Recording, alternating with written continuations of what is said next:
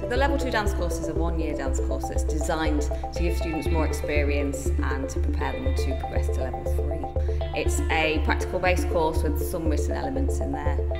I think the range of styles on the course is a good thing so they get uh, a wide range of experience um, in a lot of different aspects of dance.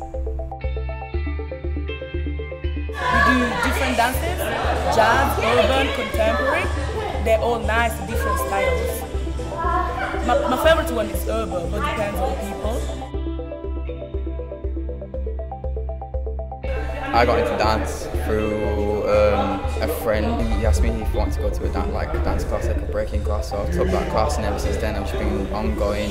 Well, it came to the time after my exams where I did what I want to do in my life. So I thought I want to dance, and then um, I want to share what you know I know with people and my perception of different concepts. Dance. You get a lot of opportunities to kind of be yourself when you're dancing, so you're not too restricted to one style. You get to like experiment with lots of different styles and stuff. And the teachers are really helpful, so